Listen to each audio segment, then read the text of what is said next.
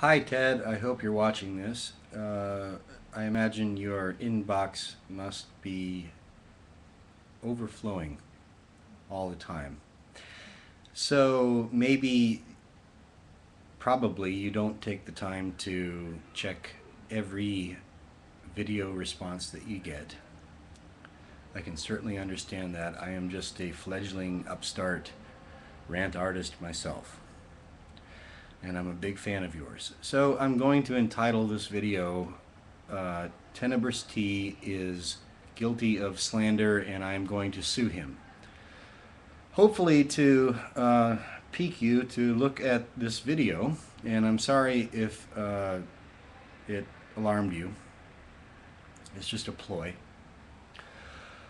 But I have something really important to say to you and I want you to hear it and I hope that you'll respond to it uh, each of us is constantly inundated with, uh, we're swimming in a veritable ocean of information. Uh, and it's just, it's an endless labyrinth. So we all do the best that we can. And I know that you're doing the best that you can. So here is what I have to uh, tell you and ask you. First, have you read Jim Stone's Fukushima report, which proves beyond a shadow of a doubt that Israel did Fukushima?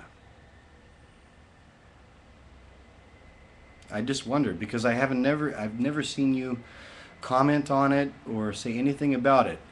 That puts you in the ranks of people like Jeff Rense who actively suppressed that report. And when I wrote about that report at henrymakow.com, Jeff Rense told Henry Makow, not only will I not link to that, you will not post it on your own site or I will sever relations with you. And Henry said, to his eternal credit, and it started a you know war on the internet.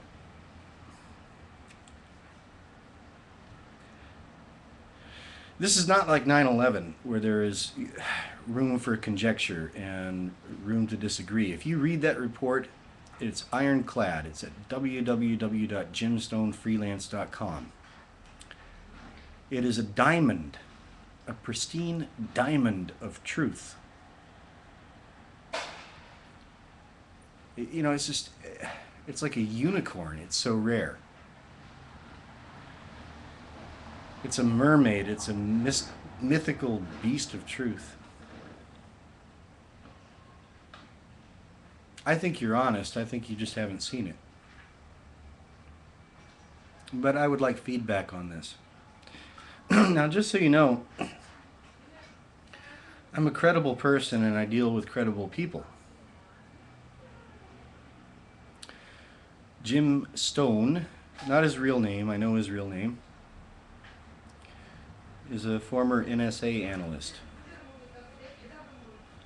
And he, uh, he has a lot of valuable information to give the world. And for his Fukushima report, he had his livelihood destroyed. He went on a flight that was like, I mean, not exaggerating, like uh, Harrison Ford in The Fugitive. And uh, he escaped the Gulag, United Soviet States of America, to Mexico, where he is currently trying to find asylum in another country, and I'm trying to help him find asylum here. so that is credible person number one.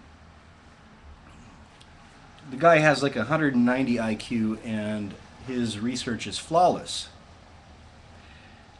And if there crops up an occasional flaw, he corrects it publicly, as he recently did over the fucking bullshit about reactors 3 and 4. so Jim Stone is credible person number one, and he is my friend. and credible person number two, um, yours truly, Ted uh, I perceived globalist attack on this society, and I asked Jim, "Where is the root? I want to go after the root, Jim. Where is it?" And he sent me uh, a URL, and he said, "There it is. Be careful." Well, apparently I wasn't careful enough, Ted, because uh, I ended up in jail for pissing those people off. But guess what? Korea has good police. And they listened to me and they treated me very well. They like Jim Stone. They're on my side. And I believe that uh, this country is the globalists' graveyard. And I'm enumerating reasons for that at this blog and uh, more especially at my Love and Light blog, which I will link to. So, anyway, um, I would really appreciate seeing. Uh, response and a commentary from you on uh, Jim Stone's Fukushima report because it's a litmus test for the uh, alternative media, which is being vetted out right now. That thing is like a barium tracer. You look at who's ignored it and who has honored it. Degare, what really happened, natural news, they all reported it, but shit, man. I mean, it is not to be denied, Ted. Not to be denied.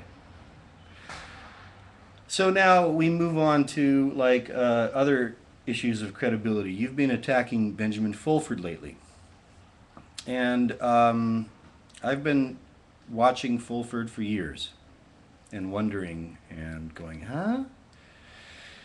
Well, I've been in touch with him. I've talked to him on the phone, emailed, uh, and I'll tell you two things.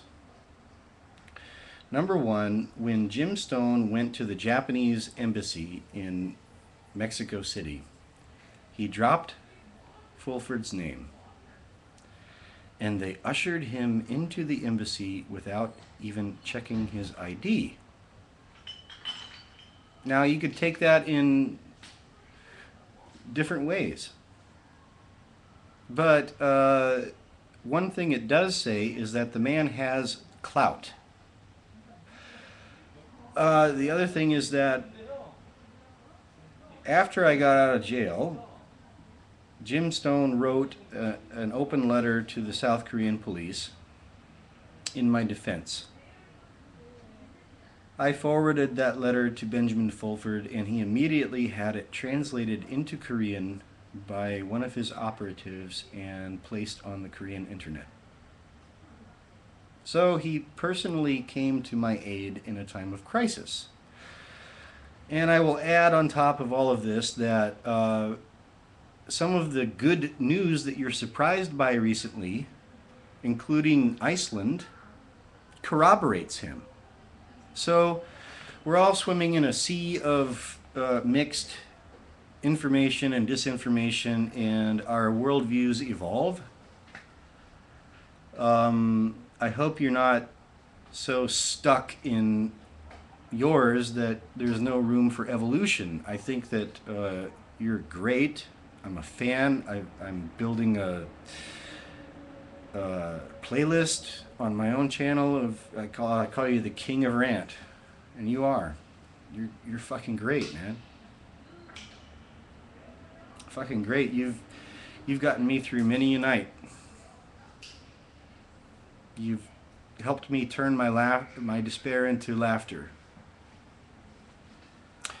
So uh, I honestly just want to reach out to you, and I hope that you'll see this. And I'm going to call this video Tenebrous T is guilty of slander, and I'm going to sue him or something like that. And uh, and I'm going to put not because I don't want to be guilty of libel even in a video title.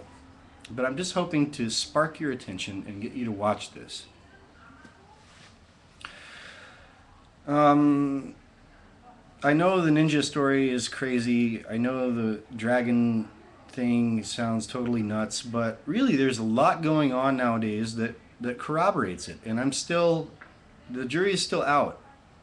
You know, but I think you might be ill-advised to like come out and ridicule him and, and rant against him because I've had this personal experience with Fulford. So um, that's all I really have to say right now. Uh, I hope that you see this and you're not pissed off at me. I I think that you're awesome, uh, and I, I'd love to be your friend. So I'm gonna close. This is James Fargon. Ted, kudos, over and out.